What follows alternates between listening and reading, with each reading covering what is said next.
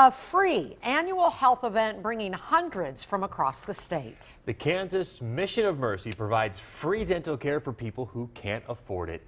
KAKE's Ben Jordan travels to Salina and finds it's rewarding for both the patients and the dentists volunteering their time. This event always draws huge numbers, but this year, before any dental work even started, these dentists were at their full 900 patient capacity.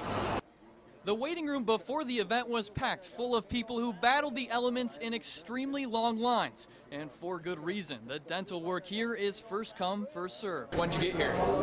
Wednesday afternoon at 2 o'clock in the afternoon. Cold. Very cold.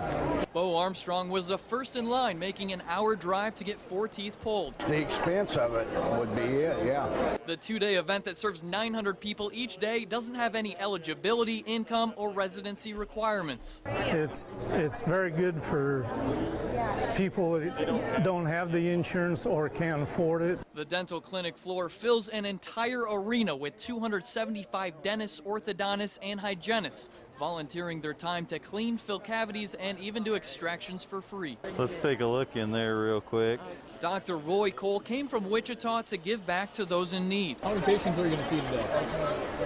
I have no idea until they quit bringing them. Bull says it's a lot of work, but even more rewarding.